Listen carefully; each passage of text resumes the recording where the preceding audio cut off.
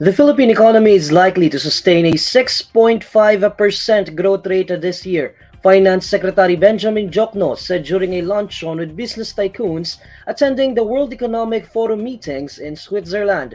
To give us an update, here's Chona Yu reporting live from Davos in Switzerland. Chona? Neil, in a speech during a luncheon hosted by Philippine economic managers for President Bongbong Marcos Jr. and the seven business tycoons, attending the World Economic Forum meetings in Switzerland, Finance Secretary Benjamin Jokno estimated that gross domestic product growth in 2022 likely exceeded the government's growth target of 6.5 to 7.5 percent. Jokno noted that 6.5 percent would be one of the highest, if not the highest growth projection in the Asia Pacific region.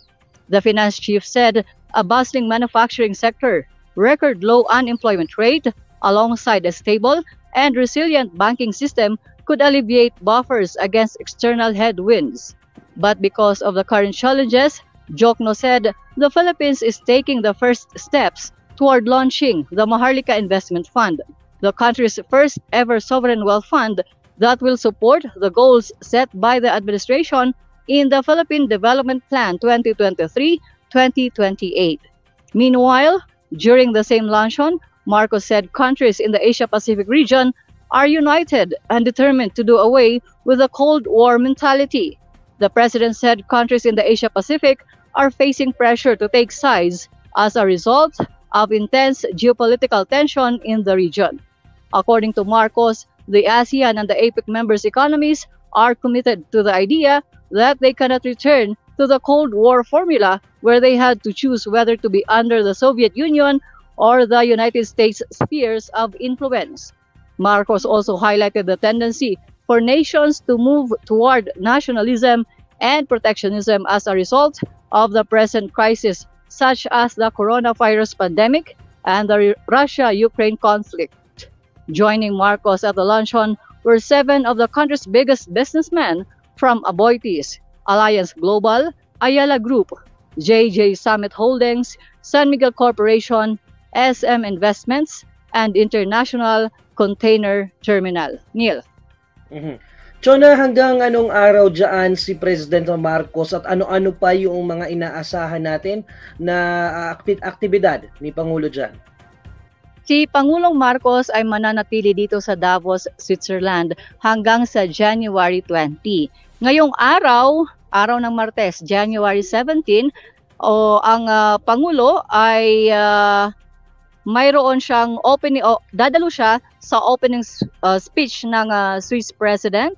10:30 po 'yan ng umaga dito at uh, alas 2 mamayang hapon ang uh, pangulo ay mayroong uh, dadalo o dadalo sa PH uh, Philippine Country Strategy Dialogue kasama ang economic team. At mamayang alas 3 naman ng hapon ay mayroon siyang uh, private meeting at alas 4 ng hapon ay mayroon siyang interview sa isang uh, media outfit. At alas 5 ng hapon, Neil, ay mayroon siyang bilateral meeting kasama ang IMF Managing Director at uh, 5.30 ay isa pang meeting ang DP World at pagkatapos ito 7.30 ay mayroon siyang uh, private dinner. So puno ang kanyang schedule ngayong araw.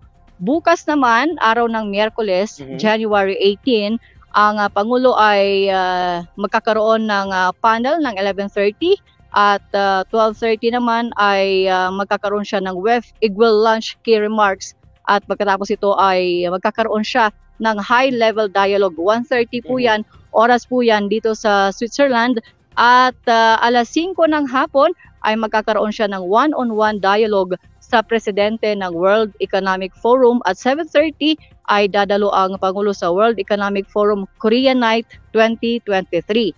Araw po yan bukas Miyerkules at sa Webes naman sa January 19, ito po ay President's Time. Uh, kumbaga ay wala siyang naka-schedule dito sa mm-hmm. Davos. At sa January 20 ay uh, magkakaroon po siya ng uh, Philip, uh, meeting sa Filipino community ng alauna ng hapon at alas dos naman ay mayroon kaming kapihan kasama ang media mm-hmm. At uh, 2.30 ng hapon ay mayroong presentation of wine and uh, paintings ng uh, Philippine Embassy. At uh, 3.30 ay wrap-up session. Pagkatapos ito, alas 8 ng gabi, ay Mhm. pauwi na po kami ng Manila.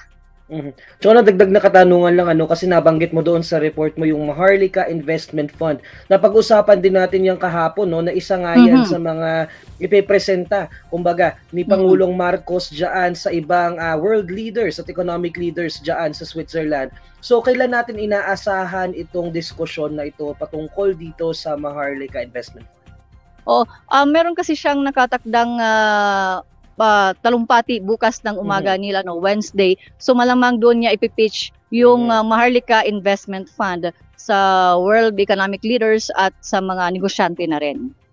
Okay. Ah, maraming salamat Shona. That's Shona Yu reporting live from Switzerland. Ingat kayo dyan.